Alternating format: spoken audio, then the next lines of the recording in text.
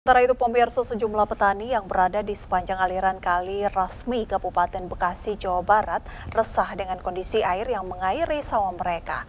Selain berwarna hitam pekat dan berbau tidak sedap, air yang diandalkan para petani untuk mengairi sawah ini kini mengeluarkan buih dan berbusa hingga membuat tanaman padi menjadi rusak. Kondisi air di aliran Kali Rasmi yang berada di bendungan pintu air Kampung Bule Pelaukan Desa Karangsetia, Kecamatan Karangbahagia, Kabupaten Bekasi, Jawa Barat ini, selain berwarna hitam pekat dan bau tak sedap, juga mengeluarkan busa serta dipenuhi eceng gondok.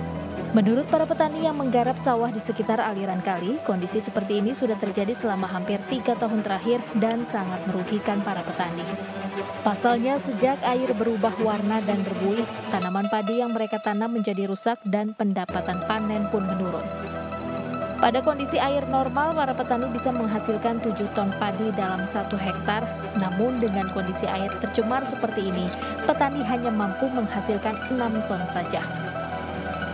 Padahal terdapat sekitar 400 hektar sawah petani yang mengandalkan air kali Rasmi tersebut. Kalau air dibuka, busanya gede sampai 2 meter dia punya tinggi di sini. Soal kesononya mentok sama, sama eceng gondok tuh, jadi bus busa orang ke sono jalannya. Tingginya bisa sampai 2 sampai meter? 2 meter bisa.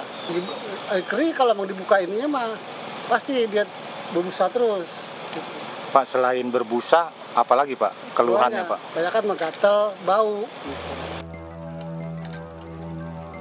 Saat ini petani yang berada di sepanjang bantaran kali Rasmi berharap pemerintah daerah Kabupaten Bekasi bisa memperhatikan pencemaran air kali agar hasil dan kualitas panen para petani kembali meningkat serta tidak ada lagi warga yang merasakan gatal-gatal saat memanfaatkan air aliran kali Rasmi.